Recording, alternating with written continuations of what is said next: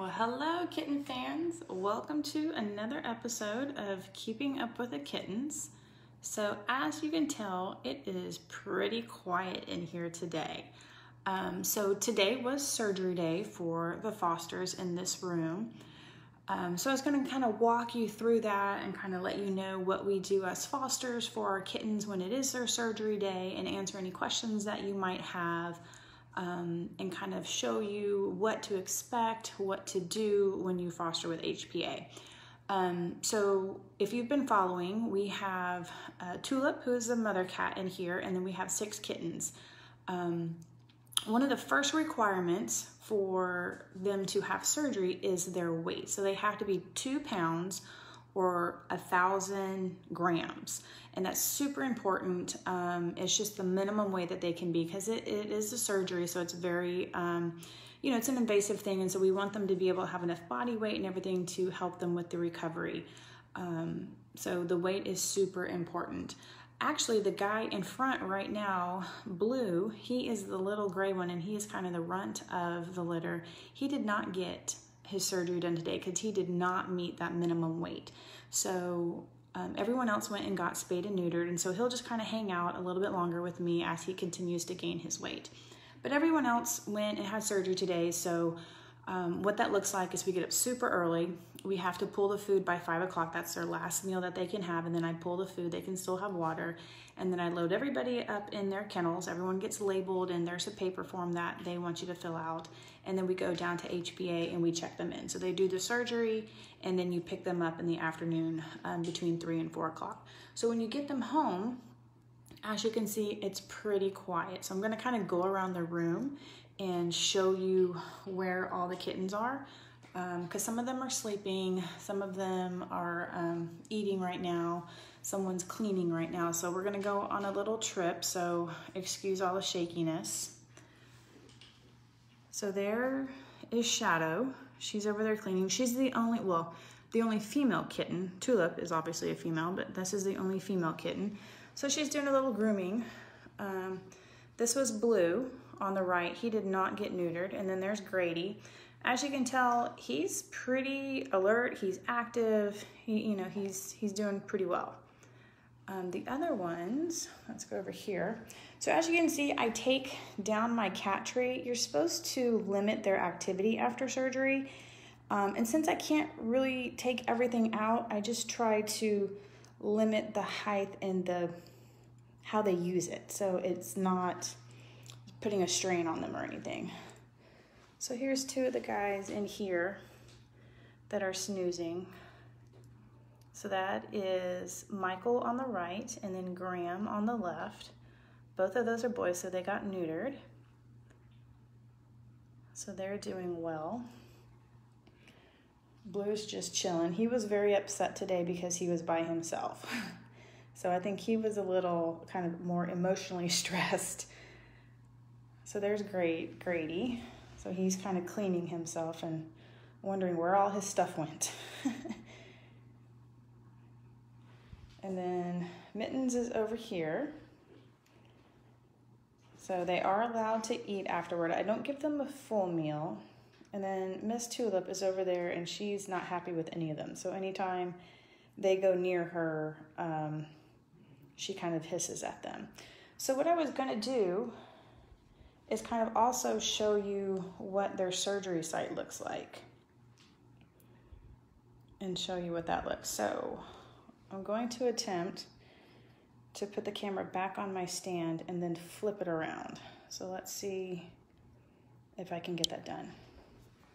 Hello everybody. So we're gonna put that down there and then I'm gonna grab Grady because he's the most um, he's kind of the most alert and he's pretty easygoing. So he's a little male, so we're gonna get a little close to his stuff. So have a little anatomy lesson. So as you can see there, there's his, his bits down there, his scrotum. So they just do a little incision on, on that, take out the necessary parts. Um, and it's actually just kind of left open um, and it kind of drains. They do some stuff with some surgical glue. And if you notice, there's a green, this part right here it's a little green tattoo, so to help other people kind of identify that he has been neutered and taken care of. So, um, but that's kind of what it looks like. Um, so not a lot to it. So the boys, the boys kind of have it easy. So you can see the kind of crusty stuff on there, that's surgical glue and that's normal. So this is a normal, you know, day of surgery site. And so they'll send home papers with you to kind of make sure you keep an eye on everything. They're not supposed to have baths. Um, so they keep everything in check. Um, but it just, it heals. I've never had a problem. Our staff is amazing with their surgery. Um, so you just keep an eye on it, make sure nothing gets a little crazy. Now the girls, let me see if Shadow will let me demonstrate on her. Come here, Miss Thing. The girls are a little bit more invasive. So here's Shadow. She's our only female kitten. So you can see they shave her tummy and they make the little incision site right there. Now they do suture it up and they um, do that and they do cover it with surgical glue. So it's gonna look a little, a little crusty. And then they also do the little tattoo right there. And it's just another indication um, to whichever vet or whoever in the future said, yes, this cat has undergone surgery. Because sometimes you don't, um, you don't feel their scar or you don't see it once all their hair and everything grows back. So this is another way to identify it. Um, so it's gonna look a little poochy and, and everything. So as long as it's not oozing, blood coming out or, or anything like that, but I've never had any, um, any issues like I said. So, um, so that's them and so they are doing really well with their recovery. But if you have any questions um, about the surgery, about what we do, um, how long it takes for them to heal, um, any experiences that you've had with it, feel free to put those down in the comments and um, I can answer those or we can discuss it and talk about it. Um, but if not, I'm gonna turn it around, the camera back around, and we're kind of watch them. They're a little active, so we're not gonna get a lot of um, a lot of busyness out of them. But if you have any questions about these guys, about the surgery, anything else, put those in the comments and we will um, talk about those. So let me flip the camera back around. Let's see here, we'll try to do it real quick. Let's see.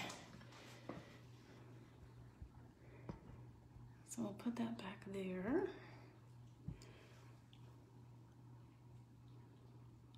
Let me go back through and look through some of the comments.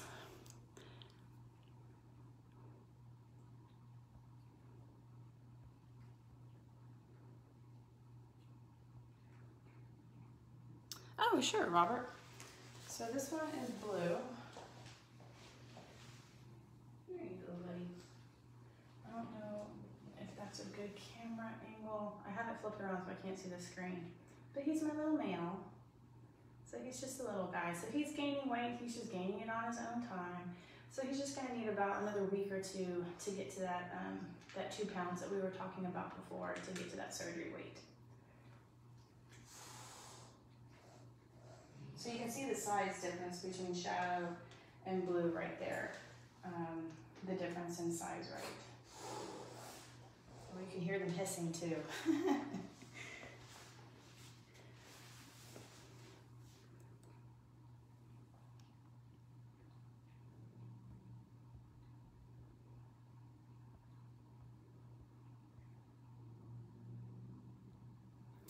But as we're watching, if you're just now joining us, we had surgery today, so that's why everyone's really calm. They're doing a lot of bathing, um, you know, as it probably feels weird with the sutures and everything, um, which is normal. We just want to make sure that as um, fosters, that we keep an eye on that and that they don't overgroom that area um, or irritate it because they can pick at that surgical glue spot or um, they can't really get to the sutures. The sutures are all under the skin the way that they do it. Um, but they can overgroom it and um, cause some irritation and possibly lead to infection. So that's something that we have to keep an eye on.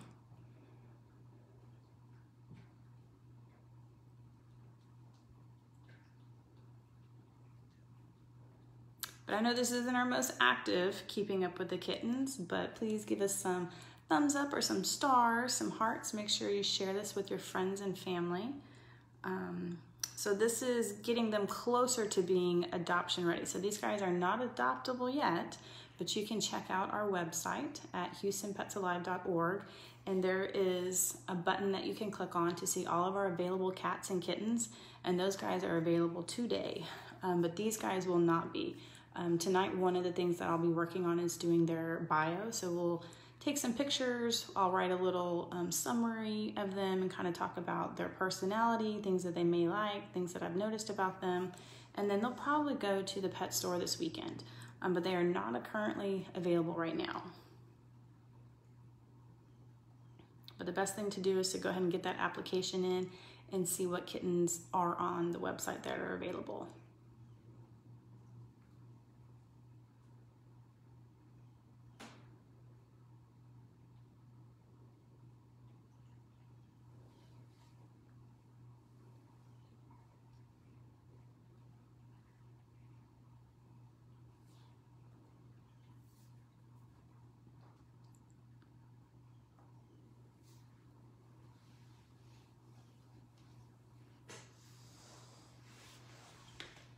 gonna put Grady back over here. They're all wanting to be by me because they want their cuddle time.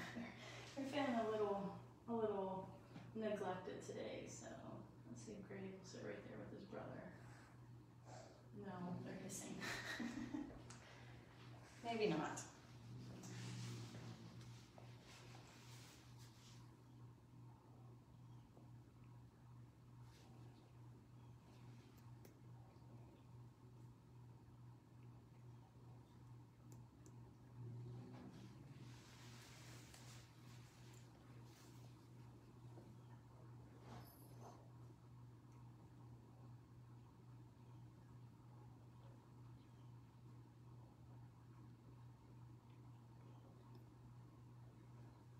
So if you are just now joining us, it is a quiet night in the kitten room. Um, everybody, except for Blue, right there in the front, had surgery today. So they are all kind of recouping and taking it easy. Um, the key after surgery is not to be super active. And so that's why you kind of see the cat tree in the back is laying over on its side. Um, I try to take away um, a lot of the toy, like the jingle toys and all that kind of stuff, all the stuff that they can chase. Um, I leave um, their bedding and things to hide in, um, just because it makes them feel a little bit more secure if they want to go um, kind of hole up somewhere and just kind of sleep and, and sleep it off. So that's why it's um, quiet right now in our room. So they're all kind of recovering. But if you have any questions about kind of the process of the surgery, like what we do as fosters, um, what we do for the kittens to help them after recovery. Um, if you have any questions about becoming a foster, anything like that, put those down in the comments and I will get back to that. But some of the key things that we do as fosters um, is to help them get to the surgery weight, which is two pounds or a thousand grams. And that's really important. We don't want them to be any smaller than that because it is surgery and it's a serious risk. Um, so we want to make sure that they have enough, um, you know, that they're big enough to help recover from it. Like we don't want them so tiny um, and everything be so delicate on their surgery. So we want them to have enough weight and meat to them that they can um, recover well from it. But while they were at surgery, so they got the last of their vaccinations, they were microchipped. They received their last um, part of their, oops, knocked into the camera they received their last uh, deworming and their flea medication. So they received quite a bit on surgery day. So they, they had they had a busy day.